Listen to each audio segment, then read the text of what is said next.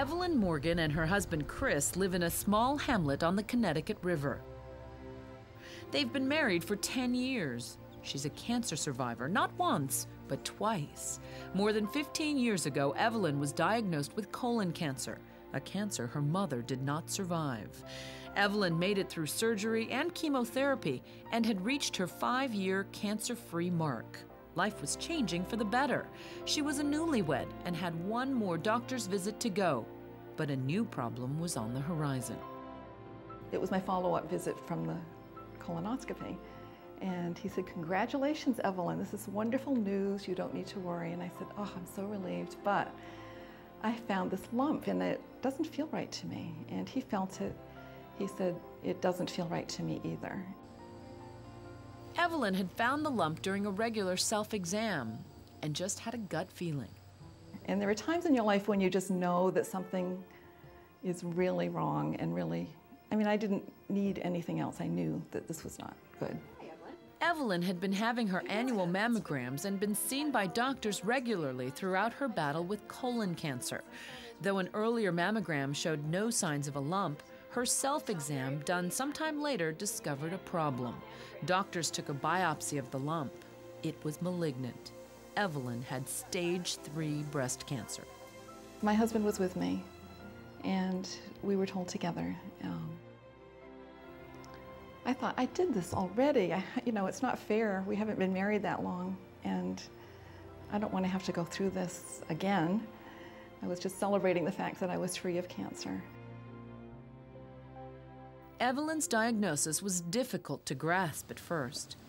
She and her husband were looking forward to doing the things they had put off because of her colon cancer, but now she had become a patient all over again.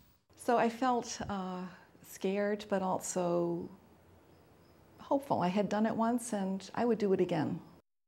Over the years, Evelyn and her doctors were persistent in following the recommended steps of screening for breast cancer. Okay, step right up against the machine. Very Mammography, Okay. an x ray of the breasts, pulling a little bit on your skin. and annual breast exams by a physician, along with breast self examination.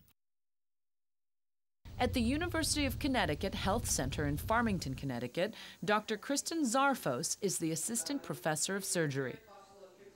Early detection is the key to improve survival for women with breast cancer.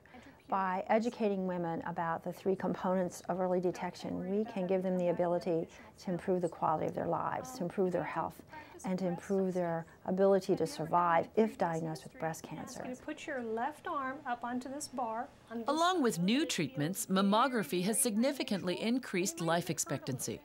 But try to think. But because many women, particularly young women, will have dense breasts, the density of that tissue can obscure an abnormality, so that 7 to 10% of breast cancers aren't apparent on mammogram. Year to this year, Most medical groups recommend women in their 40s have mammograms every year or every other year, and annual mammograms beginning in their 50s. where the pain Evelyn's treatment was aggressive. She had a mastectomy, chemotherapy, and radiation therapy. The second time around, she made a decision on how to cope with her treatment. And it dawned on me, I've got to allow this chemotherapy to work.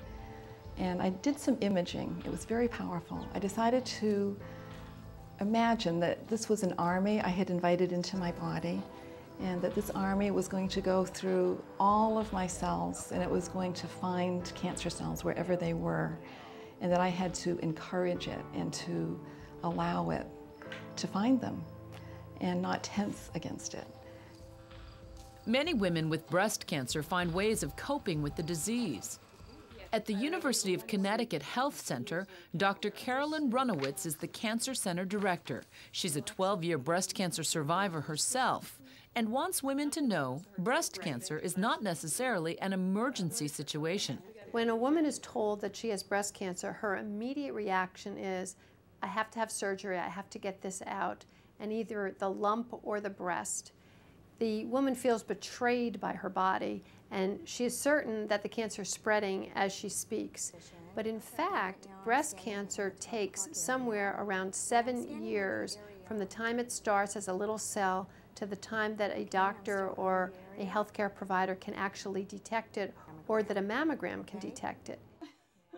Making rational decisions is key for newly diagnosed women. There's not one right treatment strategy for every patient.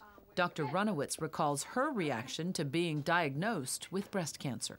And I stopped being a doctor and I became this emotional person that I was talking about before, where you're not reacting based on how a tumor evolves and it takes many years. You react, I have cancer, I have to fix it yesterday. And it happens to everyone. And that's made me more sensitive to the issue of telling patients cancer is not an emergency, although it feels like one. It's an emotional emergency, but not a biologic emergency. Hey, Evelyn. Hi. I have a suggestion for the. With the advancements in treatment today, patients are living longer and having a better quality of life. This section right here.